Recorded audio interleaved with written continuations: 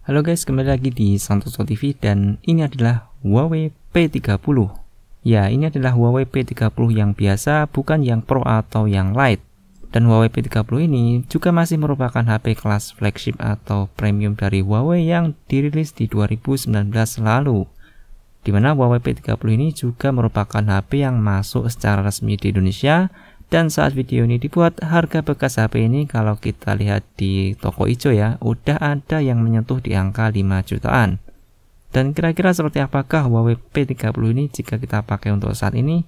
So penasaran? Langsung saja inilah review dari Huawei P30 di 2020.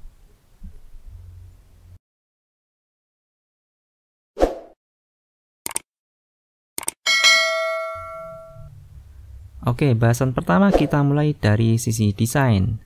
Di mana secara umum ini masih mirip ya dengan P30 Pro, yaitu dengan bodi belakang bermaterial kaca, dan saya akui ini feel di tangan dan build quality-nya terasa kokoh dan premium banget, khas smartphone flagship.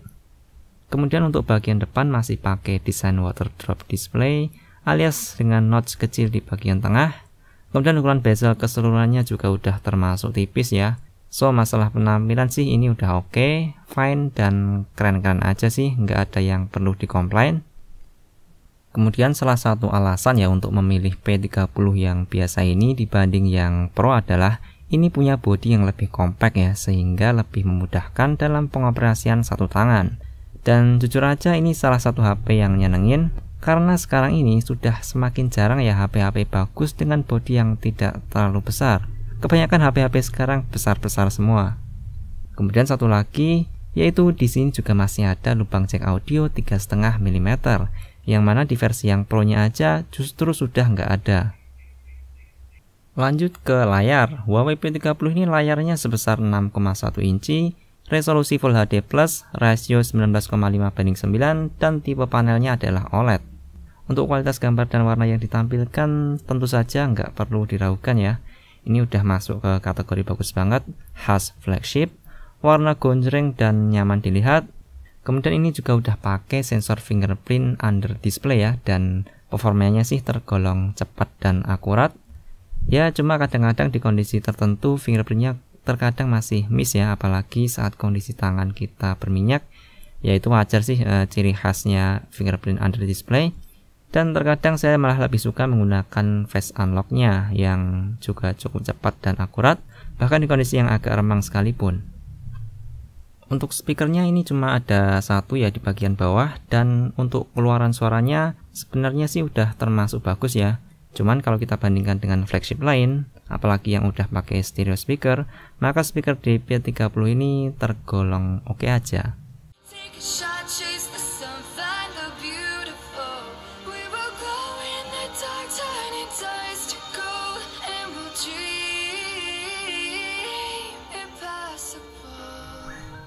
Untuk sektor performa tentu ini nggak main-main ya.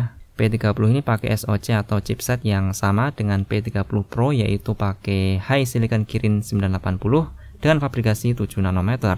Kirin 980 ini satu angkatan juga dengan Snapdragon 855 Ya walaupun masih di bawah Snapdragon 855 tapi ini nggak bisa diremain juga.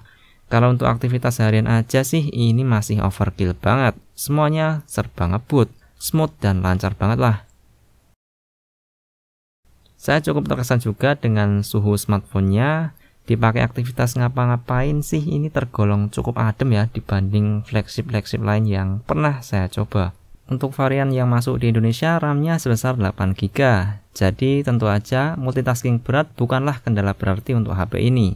Dan satu lagi, HP Huawei juga biasanya terkenal dengan kekuatan penangkapan sinyal yang bagus ya dan saya juga merasakannya di P30 ini.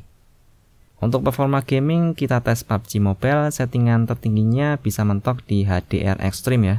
Kemudian saat saya pakai gaming lumayan lama ya, saya PUBG di Extreme Smooth, ternyata performa dan suhu bodinya cenderung stabil dan tidak cepat panas. Dan saya akui, HP ini nyaman banget untuk gaming lama-lama.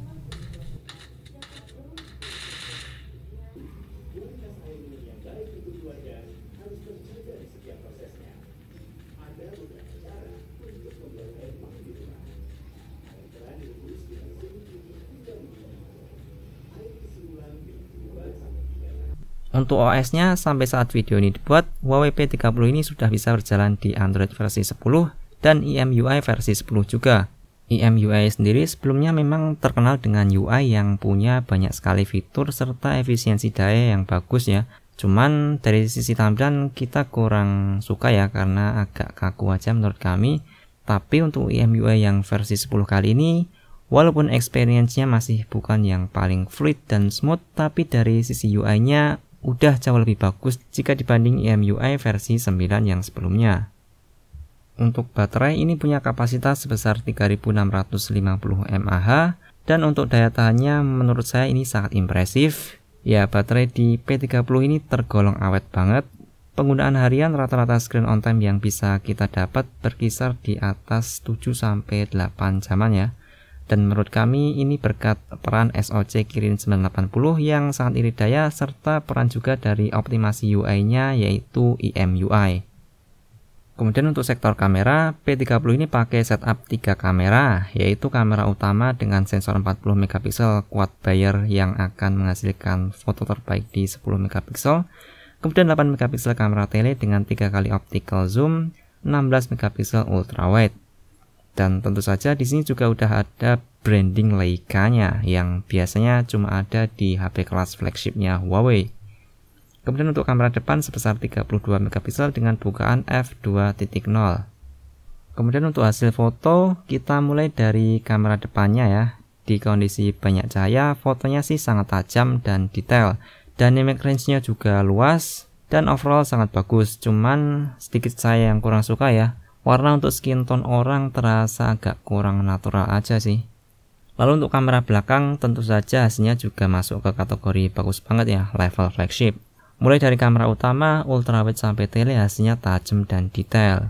Kemudian kemampuan HDR-nya juga keren banget, sehingga ini sangat mudah sekali ya menghasilkan foto-foto yang dramatis di kondisi backlight sekalipun. Saya cukup terkesan dengan hasil-hasil fotonya, Ya walaupun jujur aja hasil fotonya ini lebih bagus ya jika dibanding dengan kondisi kenyataan alias sedikit enggak natural. Tapi tetap aja terlihat bagus dan sangat siap apabila mau langsung diupload ke sosial media. Untuk tele 3 kali optical zoomnya juga sangat membantu ketika kita memfoto objek yang jauh dan bisa diboost ke 5 kali hybrid zoom yang hasilnya masih bersih dan tajam juga ternyata.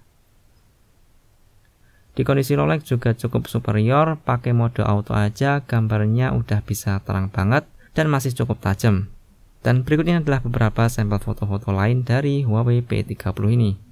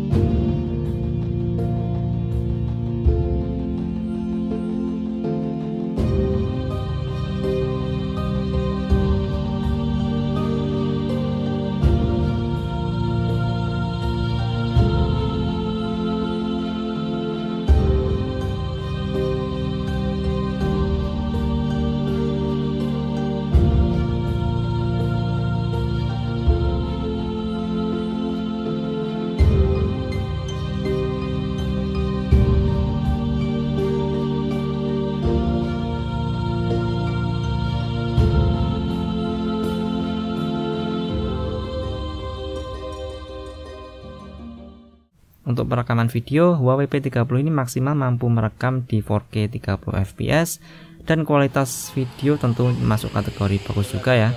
Stabilisasi juga tergolong sangat stabil mulai dari resolusi 4K sampai Full HD 60 fps. Stabilisasinya pun masih sangat bagus. Secara overall dari kualitas video menurut kami ini masuk kategori bagus banget, cuman masih belum yang terbaik di kelasnya ya.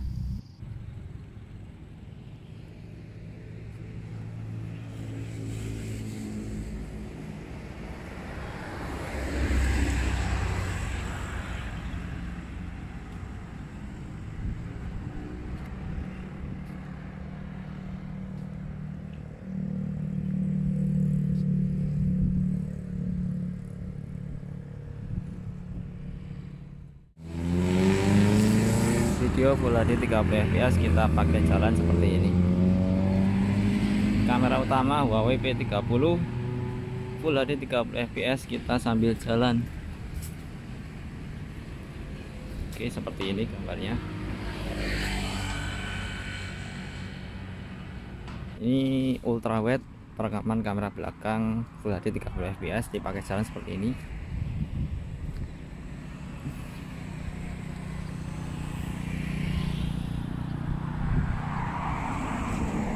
ultrawide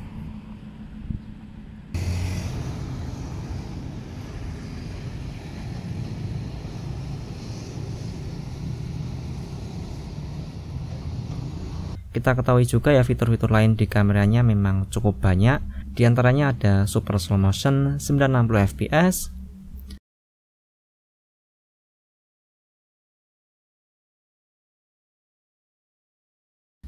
Lalu ada juga video timelapse yang hasilnya juga sangat keren.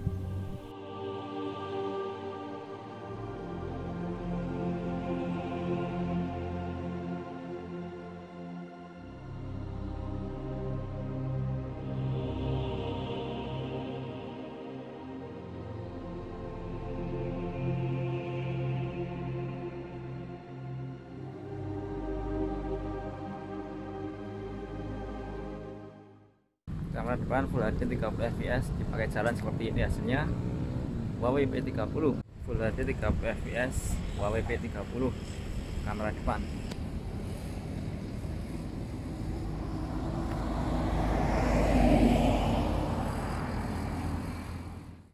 Oke masuk ke kesimpulan. Menurut kami Huawei P30 ini adalah HP yang bagus ya nyaris di semua sektor mulai dari performa kencang, baterai irit, nyaman dipakai dan tidak mudah panas, kemudian punya bodi premium dengan ukuran yang tidak terlalu besar serta masih ada port audio 3,5 mm. Untuk hasil dari triple kameranya juga termasuk bagus banget, nyaris di segala kondisi, ya walaupun bukan yang terbaik di kelasnya, dan untuk harga bekasnya yang udah mulai menyentuh di 5 jutaan, saya rasa Huawei P30 ini masih sangatlah recommended. Apalagi bagi kalian yang nyari HP bagus dengan ukuran yang tidak terlalu besar. Dan sekaligus ini adalah HP seri Huawei terakhir yang masih ada layanan full support dari Google-nya.